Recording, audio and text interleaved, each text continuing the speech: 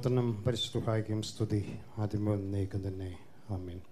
പരിശുദ്ധനായ ദൈവമേ സ്വർഗസ്ഥ പിതാവേ ഒരു പുതിയ പ്രഭാതം എ ബ്രാൻഡ് ന്യൂ ഡേ കാണുവാൻ ഞങ്ങളുടെ കണ്ണുകളെ തുറന്ന ദൈവത്തിനായി സ്തുതി. ഞങ്ങൾ പുതിയ പുതിയ കാര്യങ്ങൾ വീണ്ടും കാണുവാനാണ് ആഗ്രഹിക്കുന്നത് കേൾക്കുവാനാണ് ആഗ്രഹിക്കുന്നത്. ഇന്ന് ഞങ്ങളോട് സംസാരിക്കുന്ന ബഹുമാനരായ ഡോക്ടേഴ്സ് ആ കാര്യങ്ങൾ ഞങ്ങളോട് കമ്മ്യൂണിക്കേറ്റ് ചെയ്യുകയും ഞങ്ങളിരിക്കുന്നതിന് മുഴുവൻ അത് മനസ്സിലാക്കി ഞങ്ങളുടെ ഹോസ്പിറ്റലിനും മറ്റുള്ളവർക്കും അത് അനുഗ്രഹമാക്കി തീർക്കുവാൻ ഞങ്ങളെ സഹായിക്കണമേ ആദ്യന്തം ഈ മീറ്റിങ്ങിനോട് കൂടെ ഇരിക്കണമേ പ്രാർത്ഥന ഘട്ടത്തിനായി സ്തോത്രം യേശു ക്രിസ്തുവിന്റെ വലിയ നാമത്തിൽ തന്നെ ആമേ please be seated Quest is a quest into knowledge. Quest is a quest into experiences. Quest is on multidisciplinary efforts.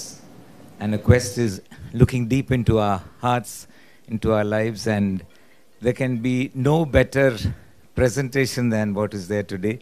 Those who haven't come today will really miss something exciting. I got a preview into it. I So thank you all for coming, and over to this wonderful man. Where is he? He's disappeared. Presenting to you, Dr. the one and only Dr. John Valliattu.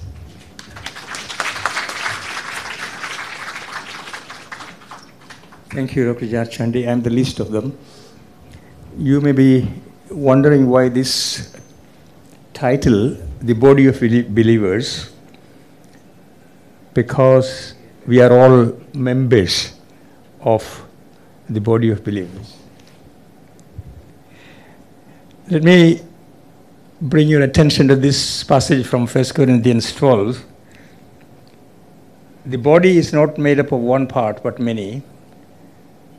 The eye cannot say to the hand, I don't need you.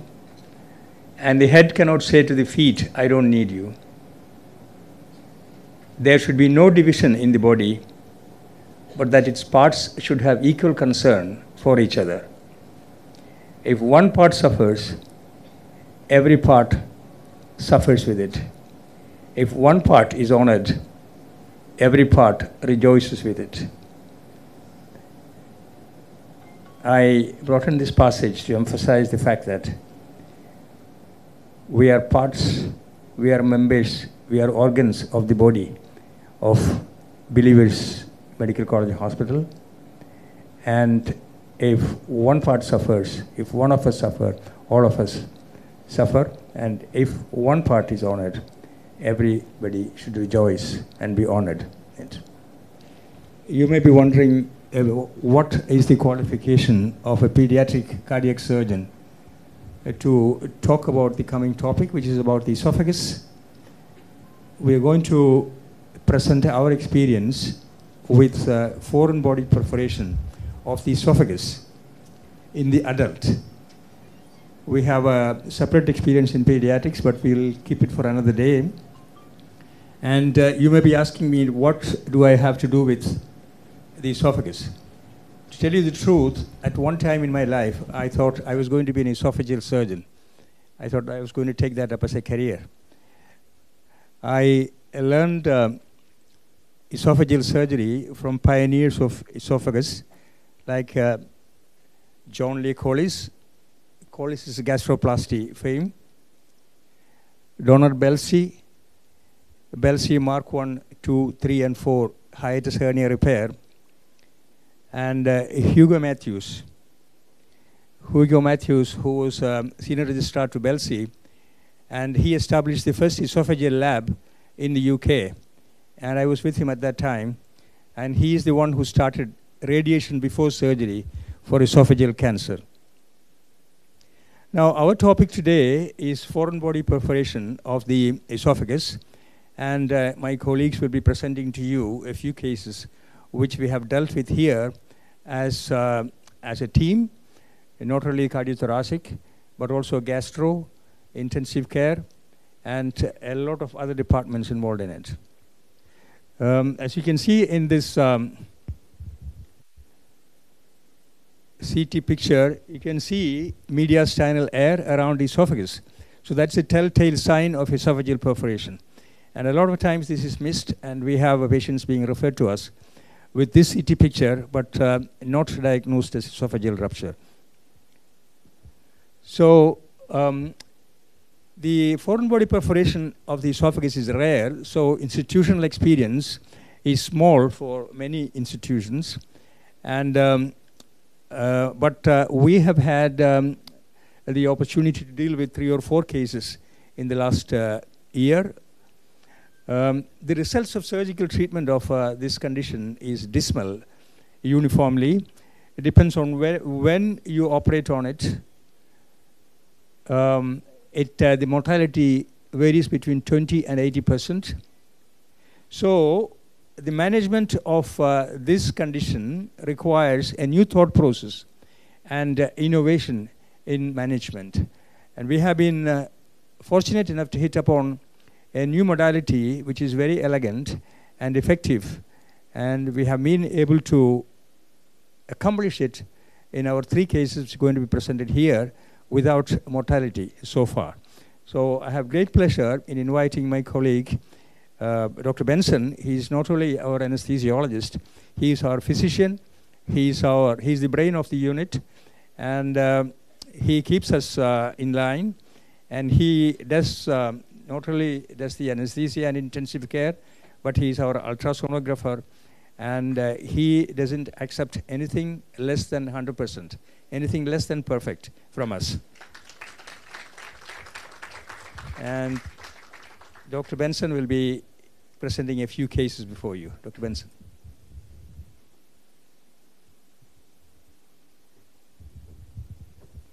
Thank you, sir. That was too much of a description for me.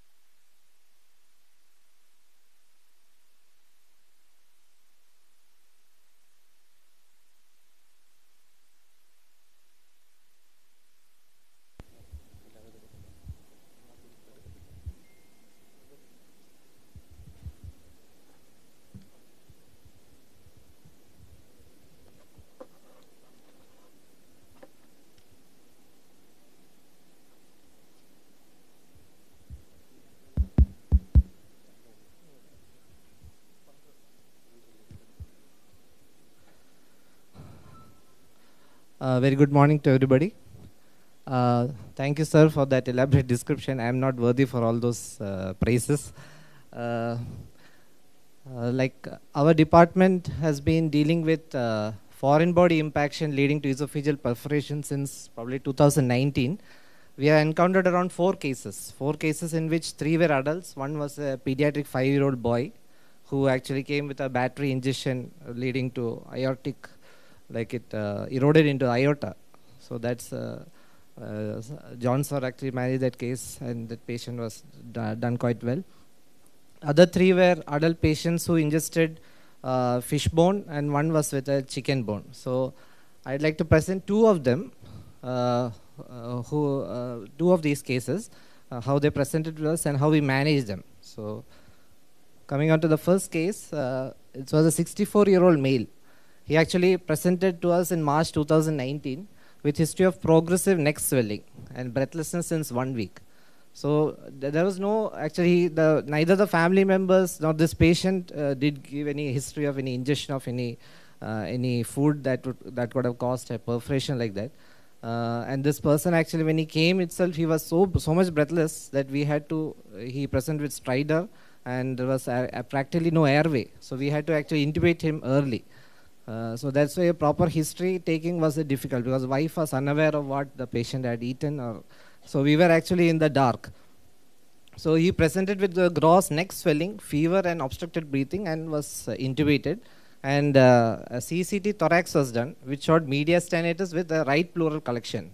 And uh, uh, contrast, oral contrast was given, which didn't show any leak. So this was the presenting uh, CT. You can see uh, the collection uh, on the right side, and then there is collection on the mediastinum also. So we did a right thoracotomy and we drained out around 350 ml of pus. But uh, the patient still continued uh, being feverish. So we did a repeat C- uh, and with a neck, which showed a retropharyngeal abscess from C2 to C5 region. So we can see here uh, air, air pockets here and uh, swelling uh, over the soft tissue and there was a recurrence of the mediastinal and right empyema again. So then we involved uh, our maxillofacial surgeon, Dr. Bichu. Uh, he did a neck exploration along with our team, and uh, we did a drainage of the para retropharyngeal spaces and a re-exploration of the right, uh, right uh, thorax, and we again drained the mediastinum. Still, this patient persisted to have fever and counts, so we were actually uh, in the dark, like what could be the cause, because all the pus, all the collections was all drained. Still, the patient was not improving. So ultimately, we uh, went uh, planned for a upper GI endoscopy, and because of the gross edema, uh, only a small scope could be introduced. And uh, a small scope was introduced, and uh, it was seen that esophageal there were two perforations around 30 centimeters down that were directly opposite to each other. And uh, in the same setting itself, endoscopic clips were applied and the mucosa was sealed. So because of still persisting collection, we again had to reopen the patient and uh, uh, drain out the thorax for the third time. After which, and a feeding jejunostomy was also done in that setting. So these uh, we don't have. Sorry, we don't have the images, but here you can see the perforations. This is the uh, endoscopy report. You can see the perforations in the 30 centimeter down the esophagus. So this is the um, CT after the procedures. After we had done all this, you can see that the all the uh, thorax has been cleared out. Mediastinum is clear, and here you can see uh, uh, oral contrast uh, in the esophagus, and here are the clips. So we didn't have. We did a uh, post-op uh, oral contrast check to check for any further leak, which was negative, and the patient improved and subsequently went home. This is the second case which uh, uh, came recently. This was a 78 year old male who was edentulous and he had food at home. And uh, this time, actually, we had a proper history that patient had taken, eaten f- chicken, and following which he had an accidental swallowing of a chicken bone and impaction in the lower esophagus. That was diagnosed in a local hospital. So the uh, the local hospital, the, the surgeon over there was like actually he did a he attempted an endoscopic retrieval, but uh, because of bleeding, it had to be aborted, and so the foreign body was actually pushed to the stomach, uh, and uh, the patient was discharged uh, according to the history which we obtained. But four days later, this patient presented back to the hospital with upper abdominal pain. And then uh, he was diagnosed as a strangulated epigastric umbilical hernia at a local hospital, and they did a repair of this hernia. But his breathlessness increased, and the next day he had chest pain, was desaturating, and ultimately he was referred to us. And uh, the x ray taken over there showed a right pleural effusion. So he reached us around on the 10th day. So this was the presenting X-ray. You can see that uh, there's a collection, uh, the pleural effusion on the right side. And this is a CT scan. So this is the right thorax. You can see all these collections here. This is uh, empyema there. And you have a, a broadened mediastinum also. There is some air pockets here. This is a video of the CT. This is a sagittal view. This is a spine, and this is the the, the collection in the right uh, pleura. So as we go down, the esophagus slowly comes up here, And then as we go down, we can see a small foreign body. That was actually a chicken bone here, this white thing. There's a chicken bone impacted there at the T9, T10 level, uh, which was diagnosed on the uh, CT. So in the, in the first instance, patient was sick, so a right uh, ICD was inserted and the, uh, the collection was drained. Then we did an oral contrast to actually find out the level of the leak. So it was found to be at T8, TN, T8 to T9 level, uh, which was suggests a perforation. Then we got gastroenterology involved, uh, who, where an urgent upper GI endoscopy was done, and it was confirmed to have two large perforations opposite wall of the esophagus with foreign body impaction. So on day three, a foreign body retrieval was done. Uh, Dr. Ronnie will go through the details about that in the next uh, presentation. Uh, a nasogastric tube was inserted and the perforation was clipped. On day four, we took up the patient for a thoracotomy and drained off the empyema. And uh, we also inspected the esophageal region during the thoracotomy to confirm for further leaks. So this is the post uh, post surgical uh, CT. So here you can see that all the pus has been drained off from the right side. It's clearing off. And uh, this is the uh, oral contrast of esophagus where you can see there's no leak and there are clips. These are the clips which have been applied that level. So the patient was extubated on the post-operative day of the second post-operative day and he improved and was discharged home. So I come to the end of my presentation. I hand over to uh, Dr. John to. Thank you, Benson. Um, the first case was our teacher, actually.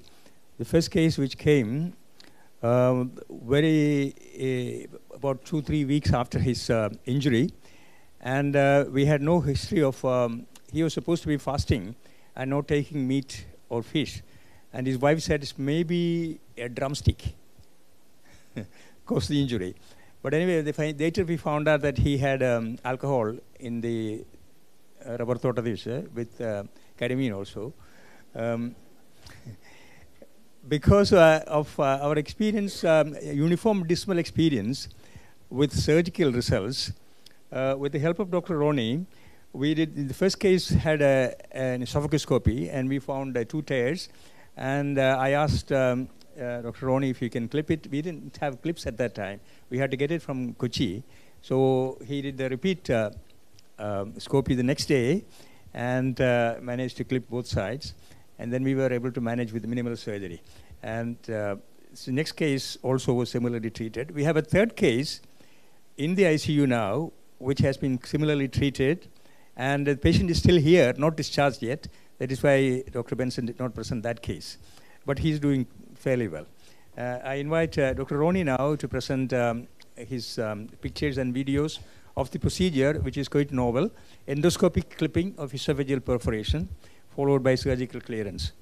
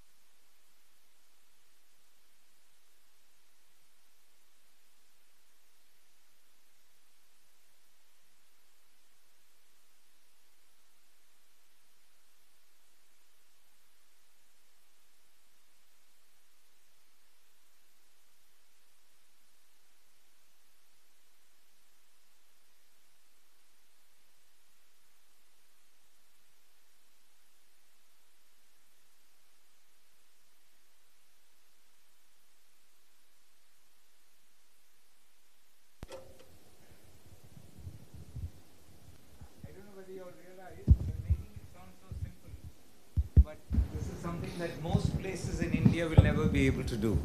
Partly because there is no teamwork, partly this is an idea that cardiothoracic team got, and we happen to have a brilliant endoscopist in Ronnie. You know, he's as smart as he looks in his uh, Chinese shirt and all that.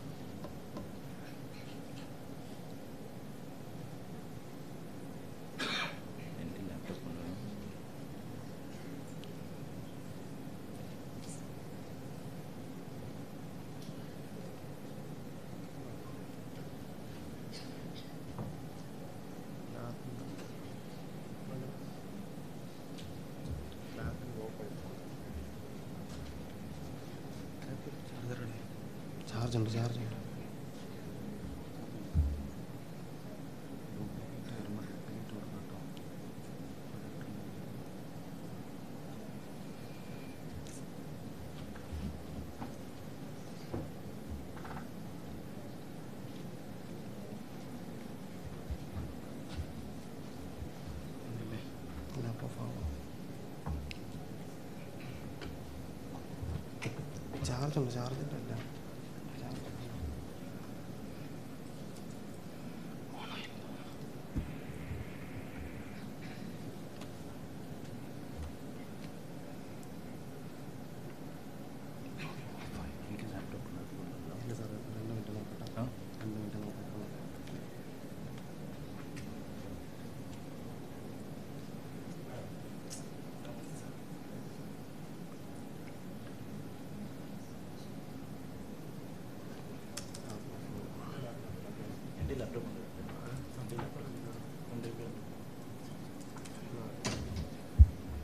So you can see them struggling to make sure that you that we all see the images.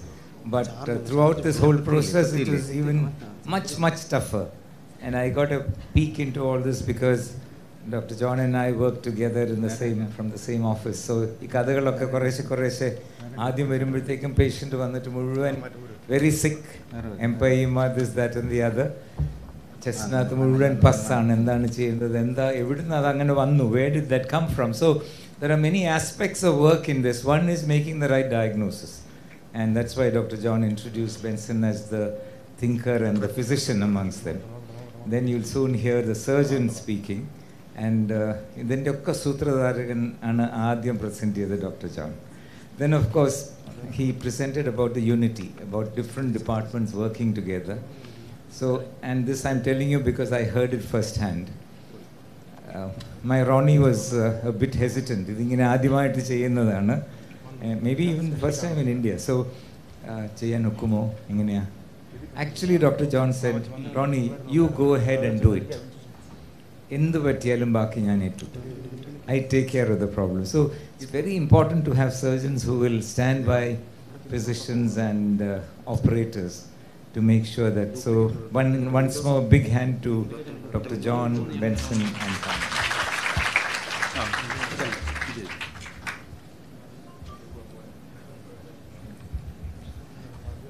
Thank you, Dr. George Chandy. Oh, shit. Um, I must say that uh, you must uh, have a, a state of mind to listen to other. When was it ingested? That's very important. A foreign body which is ingested just a few hours, it's pretty easy to remove. The more the time it takes, there'll be a lot of edema, swelling, infections, etc., etc. It becomes more difficult to retrieve the foreign body. And definitely any complications like mediastinal perforation, etc., it makes the procedure more difficult. So we basically get calls from the ER, from the pediatric team, from the ENT, but whenever we get the call from the cardiothoracic team, we know it's a difficult and probably a challenging case which we'll be confronting. So I'll be basically uh, uh, going through the uh, the uh, patient for the second case, what uh, Dr. Benson uh, described. So this was our initial experience when we did endoscopy. So in 2019, this was our experience because we don't know what to do, where to go, what accessory to put in. And uh, this was our feeling when we did our first uh, perforation uh, management. So this is the second case. This is a chicken bone ingestion who came to us, I think, day 10, day 11. And you can see the foreign body here. Um, what you see here is basically, there's basically a two-site impaction here. Uh, one at this level and one at this level. So before entering, we do not know what type of fish uh, what type of bone it is. Uh, so when we went down, what we saw, there's a third side perforation. You can see it's something a Y-shaped uh, bone. It is impacted here, it's impacted here, and it's impacted here. So basically, the three sites of impaction here. So this is how it looks uh, uh, schematically. You can see it's a Y-shaped. It's a wishbone. I think wishbone is supposed to be a lucky bone, and probably it turned really unlucky for this uh, person. Uh, so it's a Y-shaped with three pointed edges. So this is how it uh, looked on and impacted because it's tightly impacted. It's staying there for past. Can we disimpact? And we should cause minimal trauma while disimpacting. So sometimes when you try to remove it, it'll cause more trauma. The perforation will increase. So luckily we were able to disimpact it without much uh, injury. And uh, since it was on the lower esophagus, we pushed it into the stomach. So at least in the stomach, we have more space to maneuver it. And you can see this is the uh, chicken bone which was impacted in the esophagus. Now next step is how to retrieve it. So uh, this is basically the stomach. We push the foreign body into the stomach, and this is basically the fundus. The fu- always the fundus is the most dependent portion uh, when the patient is lying supine. We did the procedure in the ICU with the help of our critical care uh, team. So we had a good sedation. Patient was comfortable, and then we uh, did the procedure. See, one more thing. Uh, a foreign body which has been there for past 10 days. Another problem is when we hold it, it may just break. It may be very brittle. So sometimes it has happened when we take it, we only be able to remove only half part. Some part will be remaining still into the wall. So that was another concern we had. Uh, now the issue is it has three pointed edges. Now how do you remove it safely? Because you can see it's three different directions.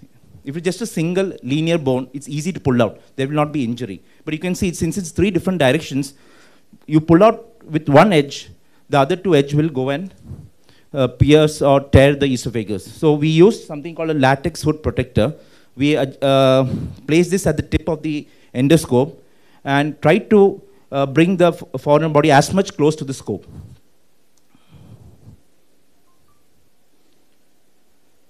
You can see that uh, rubber-like material there.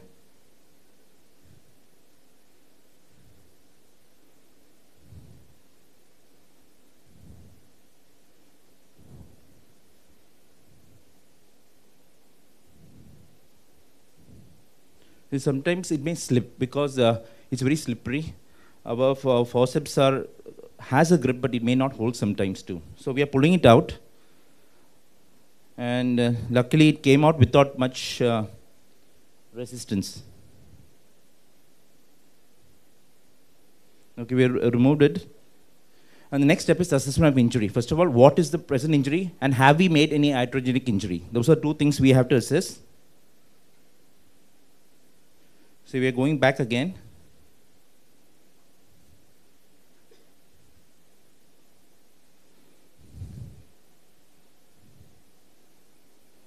And now we can probably start seeing, see, uh, this is a large tear on the left side. You can see it's a huge tear here.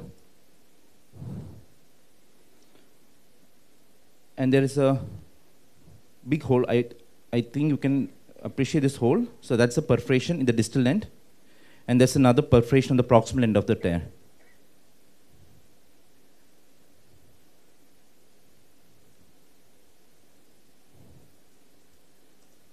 And simultaneously opposite also there was another tear. So basically we had a large tear on the left side. You can see the hole and you can see all the pus and the debris coming out. So the moment the foreign body was removed, so everything was exuding out through those perforation sites. So we had a large tear on the left side. You can see all the pus and blood and uh, debris coming out. There's a large hole here. There's a hole this in the uh, proximal side, and, uh, and there's another one here. So basically, we had two tears, three perforation sites. So now, how do we go forward? What do we do? Because we never expected such a large tear. We thought it'd be a small tear like the previous patient we had. It was a small perforation. We could just go and use the special clips. But this was a very large tear.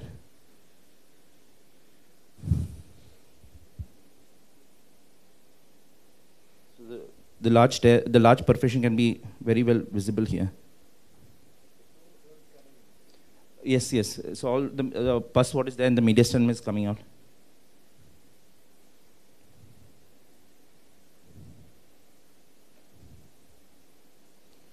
So we decided to put uh, for the large tear, we thought of using hemoclips. Hemoclips are uh, regular clips what we use for uh, stopping bleeds, ulcer bleeds, etc.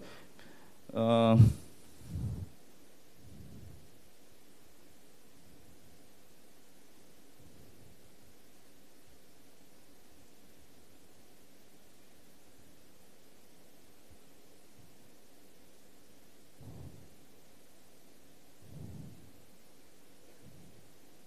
uh, those, so this is how hemoclip looks. So it's basically around 16 mm uh, diameter, and it's a bi-flange uh, clip. Uh, these are the uh, regular perforation clips, but since the tear was very large, the regular perforation clip will not hold that length. So we thought of putting multiple clips to seal off the big tear and the perforation. So this is what we did for the large tear with two perforations on the left side.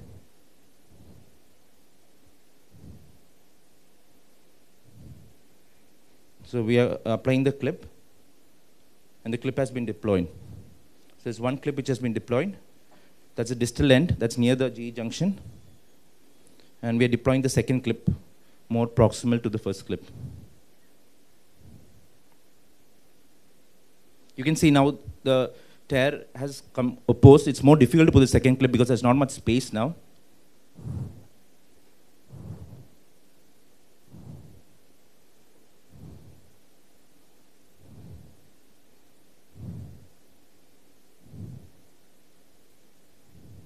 And just uh, the aorta is just below this. So we are working on a very uh, critical area. Okay, so so we sealed the two tears, uh, the uh, the larger tear with two uh, standard hemoclips, and the tear and the perforation which is present on the right side. So we were basically, examining it how large it is because there's a lot of edema there. And uh, this is the tear. You can just see there's a central tear here. This region. So basically, we are assessing the tear first because the perforation clips are pretty expensive. It's around uh, 50,000 to 50, 60,000 rupees for one clip. So we have to be very sure before using it whether it will hold, whether the perforation size is correct for the clip. So we felt the uh, this, are, this is the clip what uh, Dr. Uh, Benson mentioned. This is the over-the-scope clip. This have uh, revolutionized the management in managing perforations. So this is a very nice modality. This was the, the first patient we used two such clips to close the perforation. So we decided to go ahead with this clipping for the other perforation. And this is, it's being loaded onto the scope.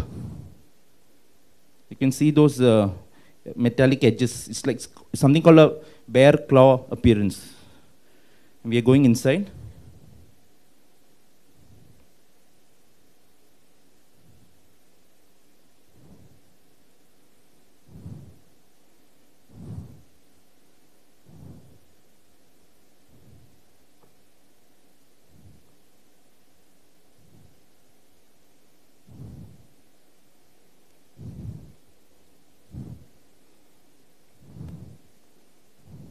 Here's the tear. This is the tear. So we just suck onto the scope for appearing uh, for applying the clip. So we just uh, you can see the uh, tear. It's very well seen here. So we have to suck as much as possible to bring maximum mucosa into the suction cup, and then we are deploying the clip. The clip is very well deployed. You can see the large chunk of mucosa there, and the other two clips in situ. This is how it looks basically uh, the over the scope or the OTSC clip. So this is what we did for the patient. And probably we feel in the coming years, uh, clipping this would be as easy and hope the technology and our expertise improves. Okay, thank you. This is our team. I think uh, people who are standing are more important than people who are sitting here to make this uh, procedure a success. Okay, thank you.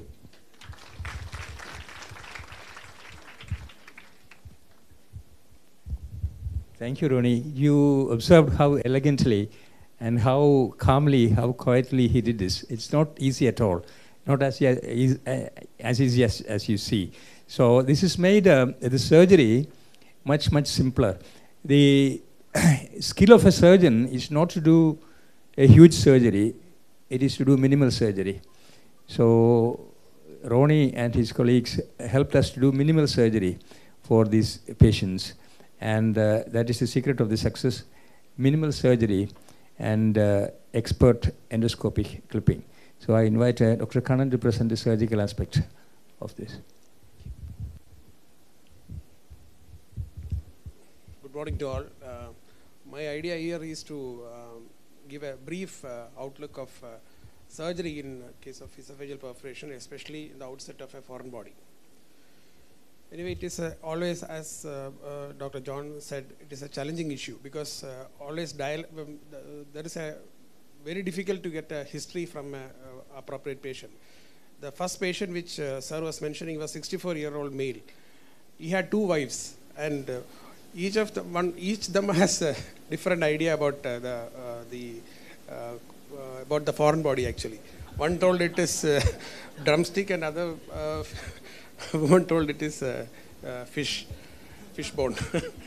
anyway, uh, so from that point, it is it was definitely that uh, it's a challenging issue, and because of uh, what uh, we as thoracic surgeons we are really scared of this mediastinitis because we don't even in spite of all high funda antibiotics, we don't know how each patient is going to behave.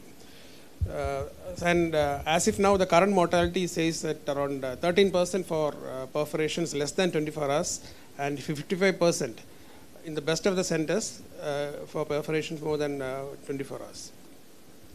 Again, as I told, age, and I, um, as Dr. John told, uh, that uh, young, uh, the, he will be presenting later about that story of the young boy. And other, other uh, the, the case which uh, Dr. Ronnie has mentioned is having about uh, 78 years. So we have a wide range of uh, uh, uh, pe- people on uh, wide range of uh, age. And basically, it again matters on the general condition. And uh, second is the location because uh, uh, cervical uh, perforations uh, uh, behave pretty badly, whereas uh, thoracic and abdominal uh, is uh, pretty easy to manage. And also, uh, the intrinsic disease of uh, esophagus, also, esophagus also matters, like motility diseases, uh, strictures, and all. Uh, several series indicate that better results with treatment, as I told, it is within 24 hours as compared to, uh, compared to after 24 hours. And that golden period is first 24 hours because if a patient present within that time, it's a matter of, uh, uh, say, by around uh, 5 or 10 minutes to finish off all these things as uh, Ronnie told. But uh, subsequently, what happens is, uh, even after that, uh, the, the problem is the leak may persist. We were lucky enough to uh, just escape from all these uh, problems because all the patients presented to us with uh, at least more than 10 days. And if you look at the anatomy of esophagus, there are basically three narrowest, na- narrowing point are there. That is, one is in the cricopharyngeus, uh, upper esophageal uh, uh, cricopharyngeus muscle. Next is in the arch of aorta or the uh, left bronchus, and other is the gastroesophageal junction. These, these are the three narrow points where uh, these foreign body impaction can happen. Coming to the mediastinal anatomy, uh, as you see that uh, once the esophagus perforates, especially if it's the posterior wall, it can spread into the uh, retrovisceral space, that is the posterior mediastinum. If it is anterior, it can uh, go into the pretracheal fascia and anterior to the uh, anterior, the anterior mediastinum. See, look at the if you look at the cervical uh, esophageal perforation, the basic idea of a uh, s- uh, surgeon, a thoracic surgeon, is to uh, explore the neck and primary drainage because if esophagus is normal, in the sense downstream is normal, then this drainage itself will heal the problem. And uh, these two the, the two patients which we did, uh, uh, primarily we did was a drainage itself. No primary because uh, uh, since it was late and the tissue was uh, very bad, so we couldn't find a hole there. But still, uh, we could manage with a uh, drainage and uh, mobilization. Again, coming to thoracic and abdominal perforation, definitely is a surgical candidate. Even if it, uh, no, I mean, the the saying goes that no patient is too sick to be operated. So that is a traditional surgical doctrine, uh, and uh, there is definitely a strong evidence, as if now there is a strong evidence for this non-operative approach in selected patients. And uh, we go like uh, from a surgical point of view, if there is a, a leak in the upper or middle uh, thoracic, uh, thoracic uh, esophagus, we go via right thoracotomy, and in the lower third, we go via a left thoracotomy. These are the classical repair where you repair the uh, esophagus in two, uh, two different layers. And uh, if it's a very, if, the, if the, after mobilizing the esophagus, if it is quite bad, we got to, uh, after the primary repair, we got to mobilize it with a pericardial, I mean, uh, with a uh, thoracot, um, uh, intercostal muscle flap to have a complete covering. And see, as I told, I'm just elaborating on patients uh, who presented with the esophageal uh, foreign body esophagus, not the other perforations like post um, cancerous condition or uh, patient with achalasia or patient with esophageal strictures uh, who present uh, uh, for a esophageal dilatation uh, end up in uh, esophageal perforation. So basically, uh, the thing is debride and drainage the mediastinal and pleural spaces, control of esophageal leak, re-expansion of lung, prevent, prevention of gastric reflux, nutrition and ventilatory support, appropriate antibiotics and post-operative localization drainage of the residual foci. Again, there are different methods, not at the outset of foreign body, but like closure, with something like closure with a buttress patch, as I told you, exclusion and diversion in case of a uh, carcinoma, and a T-tube fistula, which is rarely done nowadays, thoracic drainage and irrigation and other intraluminal stents and resection. This is the uh, that 78-year-old patient whom uh, uh, we operated. This video is just to have uh, give an overall picture of how the chest looks like. This is after drainage of uh, pus. We have opened the mediastinum, and the, my, my, suction goes around the uh, esophagus, and the transverse band which we see there is a azygos vein and the whole uh, the whole esophagus you got to mobilize and uh, you have to place a drain onto that uh, mediastinum to have a proper drainage and facilitate healing. Thank you.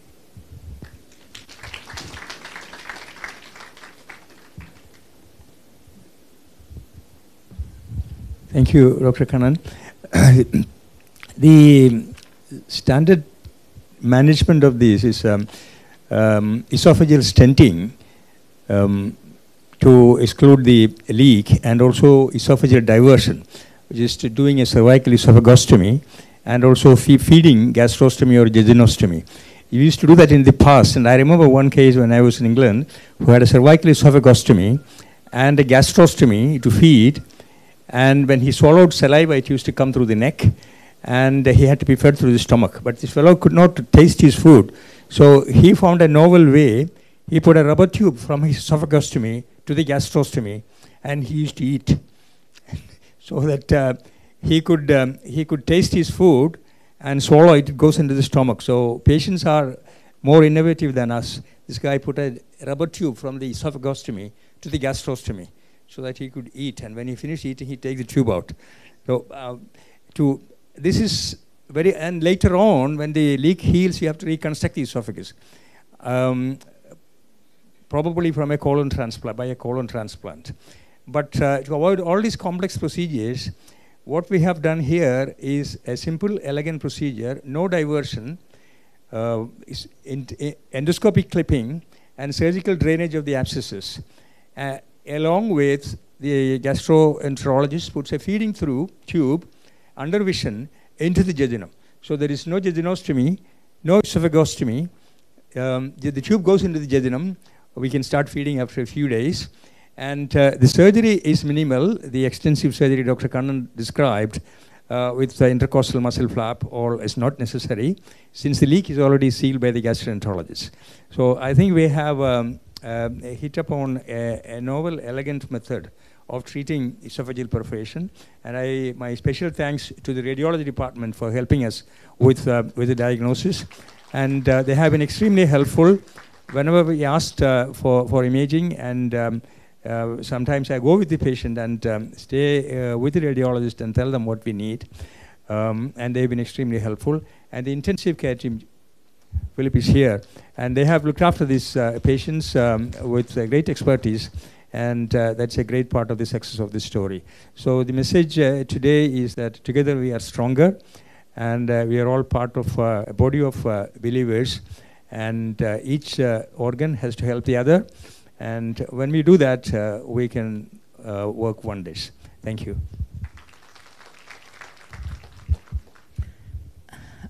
I don't know whether all of you know that this team, Dr. Suresh is there, Dr. John Benson, Sajit, and Kannan, they've had 100% success in all that they have done. Can we give them a big hand? I don't think there's any others, any other group that has done so well. They're very quiet. They don't advertise, so we don't know much about. We don't hear a lot about the great things. But thank you so much for the excellent work, and in this particular area, in terms of innovation. And on a lighter note, I just wanted to add that, uh, you know, Ronnie showed those two pictures, the driving pictures. അപ്പോൾ അതൊക്കെ കഴിഞ്ഞിട്ട് രാത്രി ഒരു ഒൻപത് തൊട്ട് ഒരു ഒൻപതേ മുക്കാൽ വരെ his got A twin brother okay identical twin whose a neurologist ഈ കഥകൾ മുഴുവൻ രാത്രി പറയും both wives allow them to do that and that that is his stress buster So keep doing it, Ronnie. Do much more, and I hope there are lots of stress busters. But I think we need to stand up and give them a great ovation, standing ovation, and thank God for the excellent work that they've done. Thank you, Dr. John. Thank you. Thank you. Very proud of you. I hope this comes out as a big publication, and the world will watch and learn the new way to do this. Thank you all for coming.